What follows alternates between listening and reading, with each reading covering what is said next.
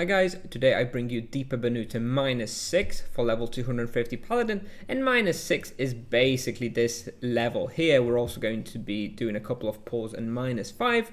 Uh, you know, people call it different things. Some people call it minus 1, minus 2, minus 4, all over the place. I call it minus 6. This is the global level minus 6 and this is what we're going to be talking about today. So let's take a look. Uh, looking at the familiar results and non-familiar, familiar you can get somewhere around 2.1 kk and somewhere around 1.9 kk with non-familiar, which gives you an average of around 2 kk raw experience, which is about 3 kk on 150, and the loot is somewhere around 350k per hour. Uh, this place tops out approximately 2.2 kk raw, and then it's just not enough respawn. This is around level 300 maybe. Uh, Difficulty-wise, about 5 out of 10. It's not too bad. Bestiary, 4 hours for Eternal Guardian, 5 hours for Hydra, 7 hours Serpent Spawn, 13 hours for Medusa. Uh, moving on, you will need the uh, Ape City and Wrath of the Emperor quest lines up to the relevant mission to get Deeper Banuta. I believe that's mission 4. This place can effectively be hunted by uh, Knight, Paladin, Sorcerers, duos as well at lower level, like 130 level duos, also probably going to be pretty good. Recommended imbuements, all standard. Um, and prioritize physical protection followed by life drain protection. Bone Fiddle will be extremely helpful here due to the high life drain damage from Medusas, and you might even consider using garlic necklaces to help with that life drain damage. Probably better than a foxtail.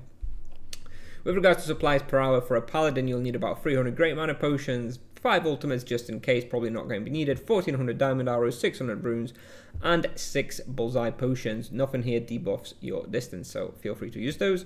Uh, charms, uh, you know, usually at this level I probably wouldn't have anything to apply on here. Um, I would probably be unlocking charms here, but if you have things, then Zap on Medusa or Serpent Spawn probably be best choice.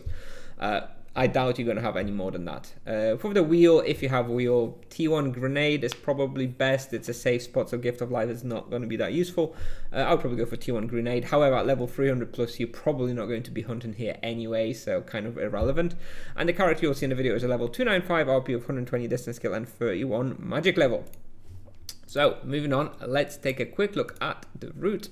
So, uh, let's assume we start on minus 6, because this, is, this will be easier. What I do is I come in here, I do a pull in this room, go up here, do a pull in this room, pull in this room, pull in this room, pull in this room, pull in this room, pull in this room, and then I go to the staircase and I go one level up. Then I'll come out, sort of pull the monsters from here and usually end up doing a pull here and go in here and do a pull here and then I go back down and I restart the loop. So as you can see, there's uh, seven pulls on minus six and two pulls on minus five. And that's that's all there is to it. It's quite a nice place. Make sure to pick up those killing in the names of tasks, uh, you know, hydras, uh, serpent spawns and medusas if you don't have 100 points yet. Um, yeah, it's an alright place. It's a little bit awkward sometimes because those monsters do run away. You don't have an etc. So it's it's it's it's a bit of an annoying place, but it's alright. At level 250 plus, you should be able to manage. Anyway, that's what I have for you today, guys. Going to play the video now, and thanks for watching, and I'll see you in the next one.